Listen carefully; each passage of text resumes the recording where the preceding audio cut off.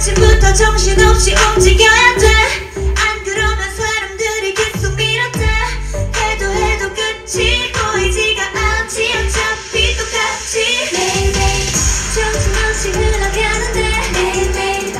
앨범명 자체도 금토일인데요. 타이틀곡 또한 금토일로 이렇게 제목이 나왔고요. 그 외에 다수의 정말 멋지신 작곡가 언니 오빠들과 작업 결과물이 굉장히 잘 나온 앨범이니까요. 저희가 연차가 된 만큼 꽉꽉 눌러 담은 멋진 앨범입니다. 평일에는 정말 열심히들 정말 일을 하시잖아요. 근데 이제 금요일, 토요일, 일요일 주말이 되면은 그 순간만을 기다리잖아요. 저희 달사변 역시도 정말 이 컴백의 순간을 많이 음. 기다려왔고 열심히 활동을 하는 모습을 보여드리고 싶었기 때문에 달사변의 금토일이란 뭘까요? 음악 방송인가요? 저는 감동이라고 생각해요. 감동이죠. 금토 일을 이렇게 손가락으로 가리키면서 추는 부분이 있는데요. 네. 금토 일 아무도 모르게 무 미치게 마시고 뛰어도 자고 일어나면 Monday, Monday, Monday 음원 차트에 오래 머물고 싶습니다. 사실 요즘에는 어, 경연 프로그램에서도 굉장히 음원, 음원이 많이 나오는 추세라서 음원에 오래 머물러 있기가 굉장히 힘든 상황이더라고요. 근데 저희가 열심히 정말 저희와 맞는 옷을 입은 금토일로 컴백을 했으니까 음원 차트에 오래 남아서 많은 분들이 많이 공감을 해주셨으면 좋겠어요. 만약에 정말 감사하게도 1위를 하게 된다면 저희 이번 요즘에 그런 역조공 같은 걸 많이 하잖아요. 그래서 팬분들에게 커피차 같은 거를 하면 어떨까? 그러니까 1위 후보만 돼도 정말 고생하시는 우리 대한민국의 직장인분들을 찾아가서 직장인분들께 힘이 음. 되게 게릴라 콘서트를 해보면 어떨까 싶습니다. 네. 직장 생활을 하시면서 아, 그래도 오늘만 견디면 주말은 오니까 뭐 휴가가 있으니까 이렇게 생각을 하시잖아요. 또 많은 분들이 지치실 때 저희 노래를 듣고 희망과 힐링을 하셨으면 좋겠는 바람이에요.